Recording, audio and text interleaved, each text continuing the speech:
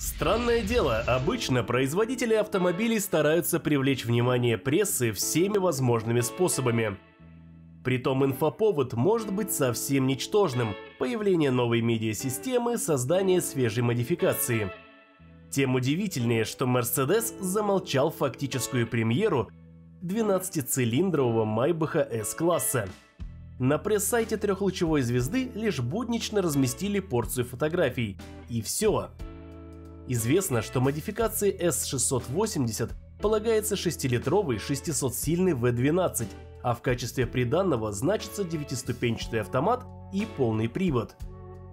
Также флагманскому Майбаху полагается фирменная гибридная надстройка. Цены известны. За 12-цилиндровую ипостась длиннобазного седана придется отдать 28 миллионов –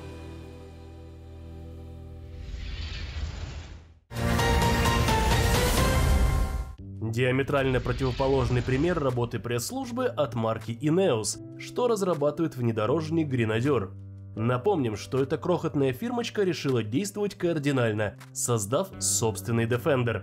Посчитав, что любое упоминание, даже самое негативное, кроме некролога, это реклама, представители бренда сделали следующее заявление. К концу 2021 года товарной машины не будет.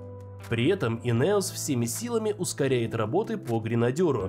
В ближайших планах собрать 130 прототипов, которые должны наездить не менее миллиона тестовых километров по дорогам и бездорожью Швеции, Северной Америки и Ближнего Востока.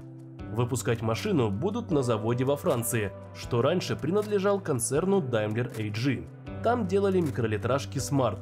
Загрузить конвейер внедорожниками планируется лишь летом 2022 года. И снова раскритикуем работу пиарщиков. Корейский премиум бренд Genesis выпустил универсал G70 Shooting Brake. Пятидверка, созданная из давно знакомого седана, хороша собой, но полюбоваться ей толком не выйдет. Производитель опубликовал лишь 5 фотографий. Европейские продажи стильно сложные новинки начнутся будущей осенью, хотя другие страны под большим вопросом. Ведь только старосветская публика продолжает ценить большие пятидверные универсалы.